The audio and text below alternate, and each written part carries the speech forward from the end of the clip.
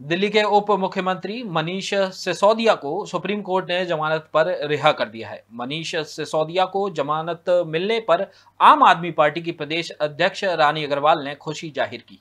दिल्ली शराब घोटाला मामले में जेल में बंद दिल्ली के पूर्व उप मुख्यमंत्री मनीष सिसोदिया को लंबे समय बाद जमानत मिली है। मनीष सिसोदिया की जमानत से अब आम आदमी पार्टी के नेता खुश हैं। सिंगरौली के अंबेडकर चौक पर आम आदमी पार्टी के प्रदेश अध्यक्ष और सिंगरौली महापौर रानी अग्रवाल के नेतृत्व में पार्टी के पदाधिकारी और कार्यकर्ताओं ने एक दूसरे का मुँह मीठा कर खुशी मनाई। इस मौके पर सिंगरौली महापौर रानी अग्रवाल ने उनकी जमानत को सत्य की जीत बताया है। उन्होंने कहा कि देश का तानाशाह आम आदमी पार्टी के नेताओं से डरता है। इसीलिए सभी वरिष्ठ नेताओं को ईडी और सीबीआई को आगे करके झूठे आरोप लगाकर जेल में बंद करके पार्टी को तोड़ने का प्रयास किया जा रहा है।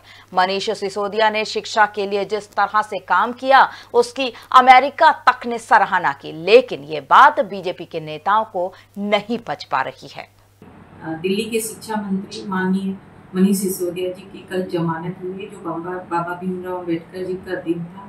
और एक प्रकार से तानाशाही की हार हुई और सत्य की जीत हुई। माननीय सुप्रीम कोर्ट का मैं बहुत बहुत धन्यवाद देती हूँ। और इसके साथ सभी देशवासियों को दिल्ली वासियों को बहुत बहुत बधाई देती हूँ, जो शिक्षा में क्रांति लाने वाले हमारे ऐसे आदरणीय मनीष सिसोदिया जी की कल जमानत हुई। बहुत बहुत धन्यवाद। Rabindranath Tagore university Bhopal N I R F rank for five consecutive years